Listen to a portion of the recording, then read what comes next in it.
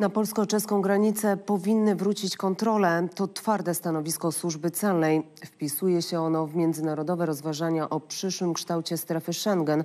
Funkcjonariusze przekonują, że kontrole poprawią nasze bezpieczeństwo. Twierdzą, że dżihadyści mogą wjechać do nas w każdej chwili, a przemyt broni to już fakt. O tym, co nam grozi i co należy zmienić, Mariusz Studzienny. My znajdujemy się na przejściu granicznym, z którego świętowaliśmy wstąpienie Polski do strefy Schengen jeszcze no, blisko 10 lat e, temu. W tej chwili na tym samym przejściu granicznym zastanawiamy się, czy jest sens istnienia strefy Schengen w obecnym kształcie, czy może jednak powinny wrócić kontrole graniczne. Moim gościem Sławomir Siwy, przewodniczący Związku Zawodowego Celnicy.pl. E, jest sens w dalszym ciągu utrzymywania strefy Schengen w, takim, w takiej, jak jest w tej chwili? Dzień dobry. E, Szanowni Państwo, e, moim zdaniem powinniśmy wprowadzić kontrolę na wewnętrznych granicach e, wspólnoty europejskiej. Dlaczego?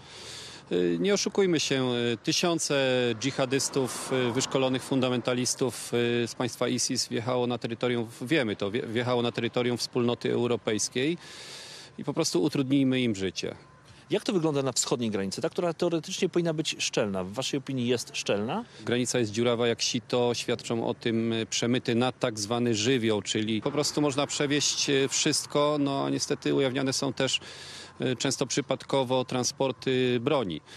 Ostatnio, ostatnio był taki no, mm, przewóz, próba przemytu mm, 21 granatników RPG e, przez e, rejsowy autobus ukraiński, który jechał do Wrocławia. Zewnętrzna granica Unii Europejskiej jest nieszczelna i rząd e, powinien, myślę, w trybie pilnym zlecić audyt, który oceni, jak wyglądają procedury, jak wygląda prawo, jakie są wytyczne. Czy przez takie przejście, jak chociażby tutaj Polska-Czechy, czy ten y, przemyt też może być?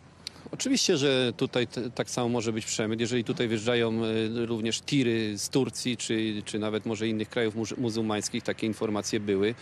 One nie są w ogóle kontrolowane. Tutaj nie ma żadnej prewencji. Drodzy Państwo, tak jak Państwo słyszeli, celnicy apelują, wzmocnijmy granicę wschodnią, ale wprowadźmy również e, kontrolę na, na granicach wewnętrznych Unii Europejskiej. To utrudni e, przemyt ewentualnej broni, czy ewentualnie przemyt e, również em, chociażby islamistów.